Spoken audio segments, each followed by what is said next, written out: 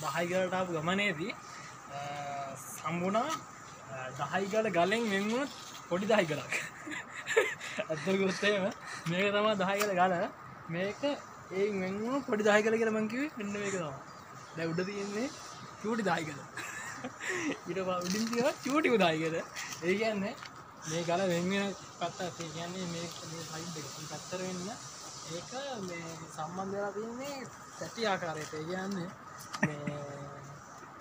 ඒ ගල පැක්කුණු ආකාර කියන්නේ ඒක එක එකමත් එක පිහිටුන ආකාරත් තමා මේ හරි අපට දකිලා බෙන්නේ. ඒකයි ඒක වෙන්වෙන් සමහරට කම්පාවක් එක්ක මේ ගලේ තියෙන මේ පිටිවීම එක්ක ඒකත් එක්ක එකතු වුණු ස්වභාවික හේතුවක් වෙන්න පුළුවන්.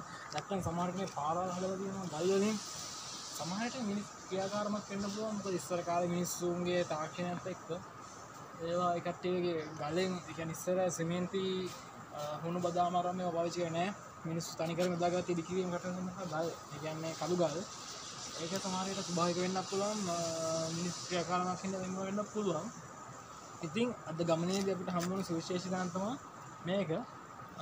පොඩි දහයි කල කියලා හඳුන්වනවාට මේක කියන්නේ ඒක ඇවිල්ලා මේ ලොකු මේකක් තියෙනවා. මොකද ඒකත් මේ ගලේ මේ ස්වභාවික ඒ කියන්නේ හටගත්තා වූ විවිධ ශාක තියෙනවා. අතනොත් එහෙම මේ වගේ ගහ ගල කියන්නේ සාමාන්‍යයෙන් ඕන තරම් මේ වැවෙන්න ඉඩ තියෙද්දි මේ වගේ ගලක් උඩ වැවුණු විශාල ගහත්තා මේවට මේ හැරෙන් බ්ලැක් නම් වෙන මේ කියන්නේ ඒ සුවිශේෂීකම කියන්නේ